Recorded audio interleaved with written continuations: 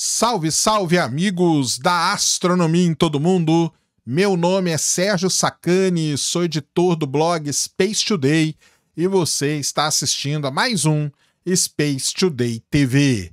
No programa de hoje, vamos ver aí que os astrônomos, os pesquisadores conseguiram realizar e apresentaram isso num artigo científico, a maior e mais precisa e mais complexa também simulação do universo já feita até hoje.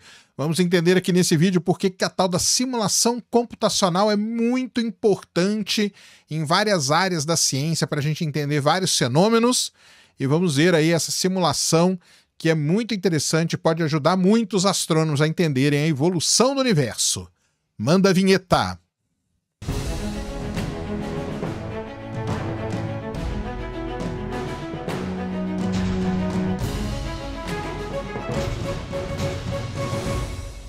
Muito bem, pessoal, vídeo novo aqui no canal. Antes do vídeo começar, você já desce aí, já deixa o seu like, já se inscreve no canal para você não esquecer durante o vídeo e para ajudar a causa da divulgação científica no Brasil. E essa semana estaremos de volta, o Ciência Sem Fim está de volta quarta, quinta e sexta com uma programação muito especial para todos vocês. Espero todos vocês lá para a gente continuar esse belíssimo programa que a gente tem de divulgação científica, batendo um papo com cientistas e com pessoas assim realmente incríveis. Então, anote aí, vou deixar aí, ó, para você ver, mas anota aí, na quarta-feira Matheus Tomoto estará lá com a gente. Na quinta-feira, o grande Álvaro Machado, que é aquele neurocientista, ele teve comigo lá no Flow, foi legal pra caramba o papo com ele, e vai ser um papo realmente incrível. E na sexta-feira, o grande Breno Mazzi, um cara aí da história da, da de aplicativos de celular, um empresário, ele tem um Tesla, para vocês terem uma ideia, então vai ter muita coisa para a gente conversar. Então não se esqueça, eu vou deixar os links aí na descrição. Se inscreva no Ciência Sem Fim e vamos com a gente que vai estar tá muito legal mesmo essa semana e todas as outras aí, Ciência na Veia. Para todos vocês, aguardo todos vocês lá, combinado? Vamos para o vídeo de hoje, passar aqui nossos 10, 15 minutinhos, batendo um papo sobre algo importante, interessante, relevante que acontece no nosso universo. E é o seguinte, né, para que a gente possa entender os detalhes do universo, né, os astrônomos utilizam simulações computacionais. As simulações elas são muito importantes. Na verdade, não é só na astronomia que a gente usa isso, não. A gente usa isso em várias áreas da ciência. Por exemplo, na minha área, para a gente poder encontrar petróleo, a gente é baseado em simulações. Primeiro, por quê? Primeiro, porque a gente não consegue acessar diretamente todos os dados. Os astrônomos, eles não têm como eles irem viajando pelo universo e acessando todos esses dados. Igual o pessoal que pesquisa petróleo, não tem como você mergulhar lá a, sei lá, 7, 8 quilômetros de profundidade para pegar os dados. Você pega esses dados de maneira indireta.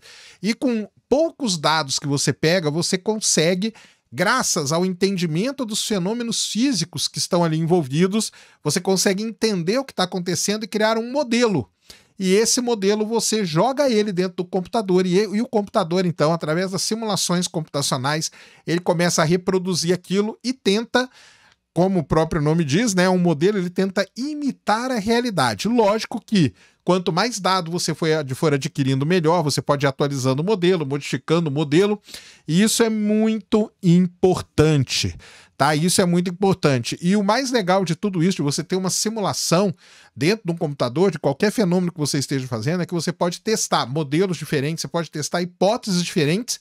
E no caso da astronomia, quando a gente fala em simular o universo, você pode fazer qualquer uma dessas coisas sem eventualmente destruir o universo. Mas você já deve imaginar que para simular algo como o universo, que é muito grande, quiçá infinito, a, o poder computacional tem que ser muito grande, né?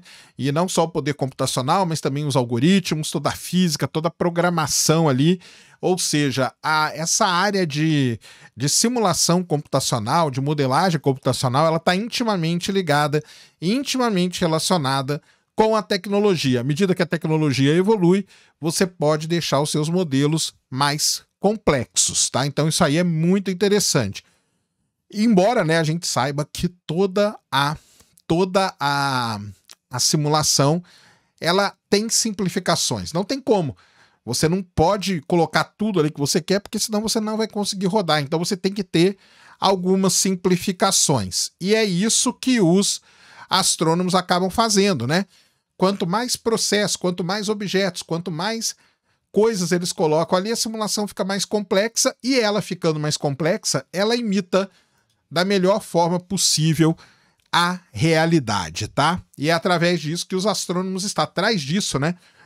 Que os astrônomos estão. Eles estão querendo o quê? Eles estão querendo simular cada vez processos físicos mais complicados, usando mais objetos para que a gente possa entender cada vez melhor o universo que a gente está. E parece que eles estão conseguindo. Pois bem, eles acabaram de publicar aí semana passada o... uma simulação que eles realizaram e que está sendo considerada a maior e a mais precisa simulação do universo já feita até hoje. A simulação ela se chama Sibelius Dark e faz parte aí do projeto Sibelius, que é o Simulations Beyond the Local Universe, ou seja, simulações que vão além do universo local, que é o universo aqui mais próximo de nós, tá? A simulação, essa Sibelius Dark, ela cobre um volume que tem uma distância para fazer isso, tá? Para fazer a simulação. Primeira coisa que os astrônomos fizeram, pegaram a galáxia, a Via Láctea, a galáxia de Andrômeda, e colocaram ela no meio, no centro, e a partir dali eles simularam tudo. Então, ela tem um raio, tá? Vamos dizer assim, em anos-luz, ela vai até uma distância de 600 milhões de anos-luz da Terra. E ela foi feita por 130 bilhões de partículas simuladas. Isso que é uma coisa muito interessante essas simulações elas funcionam assim, simulando partículas. E quanto mais partícula você simular, melhor o resultado. Quanto mais partícula você for simular, mais complexo e mais tempo você vai precisar. Para isso foram necessários milhares de computadores rodando ali tudo em paralelo, trabalhando por algumas semanas para produzir então essa grande quantidade de dados. A simulação ela foi realizada na chamada Dirac ou Dirac, né, Cosmology Machine, a chamada COSMA, que é operada pelo Instituto para Cosmologia Computacional na Universidade de Durham. Essa simulação cosmológica ela usa relevantes equações físicas para descrever o universo, utilizando como base o que a gente chama de CDM, que é o Cold Dark Matter Model, ou seja, um modelo da matéria escura fria. Esse modelo, hoje, hoje é o modelo padrão que a gente usa para explicar da melhor forma possível. É esse o modelo que explica da melhor forma possível os dados que a gente tem do universo. Então, o pessoal costuma chamar ele de lambda CDM, onde o lambda é energia escura e o CDM é cold dark matter, ok? Então é o modelo da matéria, matéria escura fria. Esse é o modelo hoje que é a base para essas simulações. Isso aí conta um pouco da história do universo, onde primeiro a matéria escura começa a coalescer em pequenas aglomerações, cria aquele halo, né? O halo, o halo de matéria escura. Ali dentro, você começa a ter um pouco de gás, um pouco de poeira e tudo mais. É, esse halo começa a se fragmentar, né? Toda essa toda essa coalescência de matéria escura começa a se fragmentar formando estrelas, depois formando as galáxias, e os halos de matéria escura são onde então é, está, abrigam as galáxias, como a Via Láctea. A Via Láctea, o disco, os braços e tudo mais, está numa pequena região coberta aí por um halo de matéria escura gigantesco. E aí você pode perguntar, né, o que que é essa simulação tem de diferente de outras, né? Porque já foram feitas outras simulações do universo, aí é feito a toda hora. O que que essa aí tem de diferente? É o seguinte, as outras simulações, elas usam aquela, aquela coisa tradicional de simulação, que é pegar um caminho aleatório e simulando. Essa aqui não. Essa aqui, ela usa é, é, sofisticados algoritmos, tá? Que são condicionados a reproduzir a nossa parte do espaço, a nossa parte perto aqui do universo. Isso é muito importante, tá? Então, por exemplo, você pega as estruturas que você conhece da via, vizinhas aqui da Via Láctea, e essas estruturas têm que estar reproduzidas na simulação. Ela é, é uma simulação que a gente chama condicionada a esses pontos aí, a esses pontos que a gente conhece. Então, por exemplo, é, estruturas familiares, que é a galáxia, os aglomerados de galáxia da Coma, do Virgem, Perseus, aquela estrutura chamada de grande parede, aquela outra estrutura chamada de grande vazio, elas são reproduzidas nessa simulação, porque a simulação é condicionada a isso. Ela não é simplesmente uma simulação aleatória, como a maior parte das outras simulações são feitas, porque esse processo de condicionamento ele requer um tempo computacional muito maior. Como eu já falei, no centro da simulação estão as estruturas mais importantes, que é a Via Láctea e a galáxia de Andrômeda. E essa simulação aí ela revelou, né, as consequências das leis da física agindo na matéria escura e no gás quente por 13,7 bilhões de anos, ou seja, eles, eles resolveram simular o tempo né, de simulação é desde a origem do universo até agora, tá?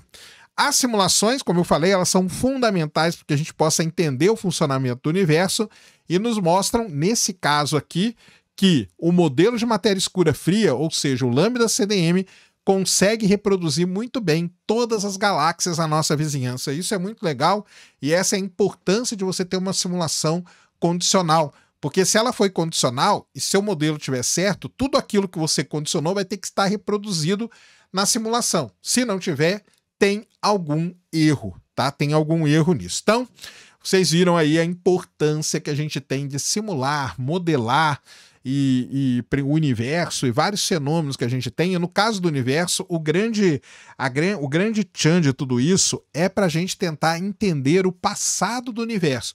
Como que o universo formou e como que ele foi evoluindo. Isso aí é muito importante, são funda isso aí é, é fundamental para os estudos. E como a tecnologia vai avançando muito, né? A gente espera que daqui a pouco os astrônomos consigam fazer simulações muito mais complexas e muito mais precisas. Como disseram os próprios astrônomos responsáveis por esse belíssimo trabalho de simulação computacional, a simulação nada mais é do que a ponte entre as décadas ou talvez séculos né, de modelos teóricos que a gente tem sobre o universo, é a ponte disso com as observações que a gente tem hoje. E o que é muito legal hoje é que a quantidade de dados observacionais está crescendo muito e pode abastecer cada vez melhor a simulação. Então, olha só a situação que a gente está. De um lado, a tecnologia está evoluindo para a gente ter mais máquina, mais poder computacional. Do outro lado, a quantidade de dados observados está evoluindo muito. Tudo isso vai convergir para que o nosso modelo como a gente entende o universo possa ser melhorado e o nosso entendimento sobre o universo possa ser melhorado cada vez mais. Então tá aí muito legal. Vocês conheceram a Sibelius Dark, a maior e mais precisa simulação do universo já feita até o momento. Esse era o vídeo que eu queria trazer aqui no canal para vocês agora. Espero que vocês tenham gostado. Se gostou, já sabe, tapa no dedão voadora com tudo no peito do like. Lembrando que o like hoje é de suma importância, então dê o like, porque o YouTube está considerando muito o seu like na hora de aumentar o alcance do vídeo. Não se esqueça que daqui a pouco, acho que vai dar para sair antes sim, temos lançamento do Chevetão Indiano. Vou deixar o link aí na descrição também para vocês irem lá assistir a partir das 9 horas da noite. Vou fazer de tudo para que eu consiga publicar esse vídeo antes, mesmo que seja em cima da hora, mas nós vamos fazer isso também daqui a pouco, 9 horas da noite, beleza? Nunca se esqueça do pacotão YouTubístico, compartilha, favorita, se inscreve no canal se você ainda não é inscrito, deixa aí nos comentários o que você quiser saber, tamo junto dioturnamente na luta contra a má divulgação científica no Brasil e contra a anemia na divulgação da astronomia no nosso país. Mais uma vez, meu nome é Sérgio Sacani, sou editor do blog Space Today e você acabou de assistir a mais um Space Today TV. Fui!